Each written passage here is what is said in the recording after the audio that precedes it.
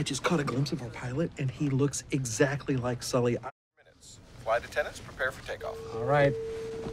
All right, time to take that special flying medicine Ronaldo gave us. What does cuidado mean? I think it means sleep tight. Oh, well, cheers. Cuidado. Mm-hmm.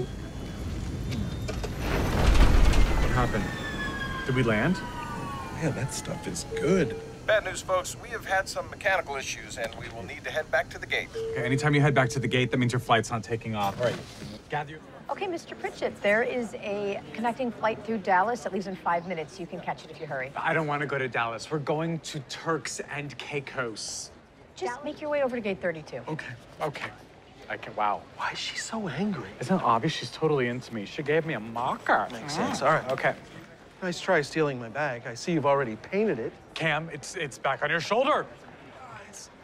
Oh! Knock it off! Ow! Okay, you're gonna suck it up. You're gonna pull your act together, and you're coming with me to gate Hi. 30. Hi, we're. Mitch and Cam. I, I'm Mitch. He's Cam. Mr. Tucker, Mr. Pritchett, you made it just in time. Oh my gosh. Thank you.